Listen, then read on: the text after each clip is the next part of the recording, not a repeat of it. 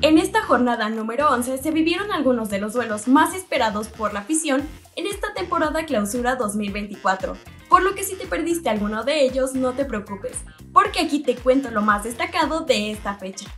¿Cómo le fue a algunos de los equipos en esta jornada número 11? Hubo clásico nacional femenil en el estadio BBVA, en donde Rayadas y Tigres se enfrentaron.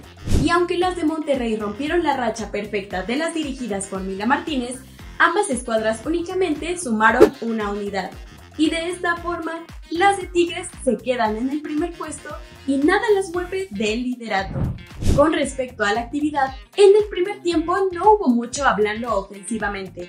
Sin embargo, hubo una acción destacada, ya que al minuto 30 Pamela Tajonar le detuvo un penal a Stephanie Mayor, defendiendo así el arco de Rayadas.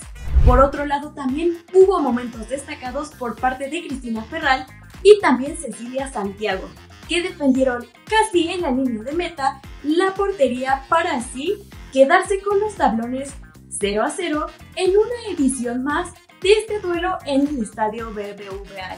Y como ya se hizo costumbre, nuevamente culminó con los tablones igualados. En el duelo entre escuadras capitalinas que se vivió en el Estadio Olímpico Universitario entre las de Pumas y Cruz Azul, el marcador culminó con un 4-2, en donde indiscutiblemente la figura del partido fue Aérea Chavarín, que puso dos de los tantos para las auriazules. Los otros dos fueron autogoles por parte de jugadoras de la máquina celeste, y el descuento también fue por parte de Ana García y también Jimena Ríos para este equipo de Cruz Azul. De esta forma, las celestes no han podido salir de la última posición en la tabla general, mientras que por su parte las universitarias llegaron a las 17 unidades en el torneo en contraste con las 4 del conjunto de la máquina celeste. Otro de los partidos más esperados por la afición fue el Chivas América, que se vivió en el Estadio Akron y culminó con un 2 a 1 en favor de las rojiblancas. Para la primera parte no se vivió ninguna anotación, sin embargo, la encargada de abrir el marcador fue Andrea Pereira vía penal, para que posteriormente las Chivas empataran de la misma forma con otro penal bien ejecutado por Carolina Jaramillo.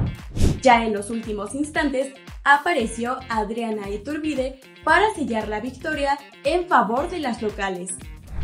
La jugadora de la semana en Once Diario es nada más y nada menos que la artillera de Chivas, Adriana Iturbide, que a espaldas de la portería usó un recurso bastante destacado para concretar el gol del gane frente a las Águilas del América, dejando el marcador 2 a 1, rompiendo así una racha de las rojiblancas de 7 partidos sin ver la victoria frente a las dirigidas por Ángel Villacampa.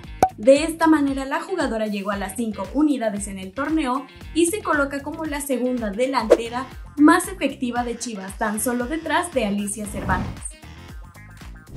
Hablando sobre lo mejor para la próxima jornada número 12, el 23 de marzo podremos encontrar tres partidos bastante llamativos, siendo el primero de ellos el Toluca contra León a las 17 horas. Estos dos equipos vienen muy de cerca en la tabla general, por lo que este duelo es importante para que puedan escalar posiciones. A las 19 horas también se medirán los conjuntos de Atlas y Monterrey en el Estadio Jalisco.